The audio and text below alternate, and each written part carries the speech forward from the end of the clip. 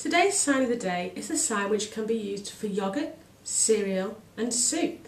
To make this sign you create what's called an Irish T with your right hand where you put your thumb into your index finger and it looks like a T. You then begin to scoop towards your mouth using the Irish T hand. Soup.